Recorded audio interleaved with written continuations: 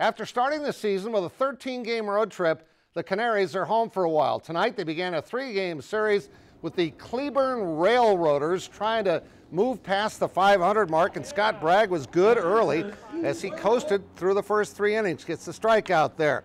Now, Ale Lago with a single to right field. That's going to score a run, and the Birds go up one to nothing.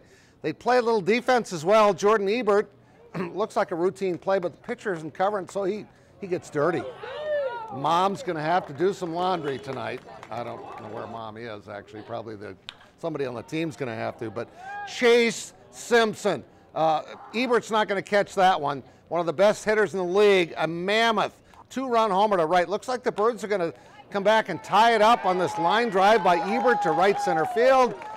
But uh, Taylor rounding the bases. Does he have enough juice to make it? He does not. He was out by a mile. Let's go to the scoreboard, though. They scored, of course, nine runs in their next at bat after I left. That's the way it always works. Darn, it's carrying over from hockey to baseball, and they lead 11 to 8 in the eighth inning.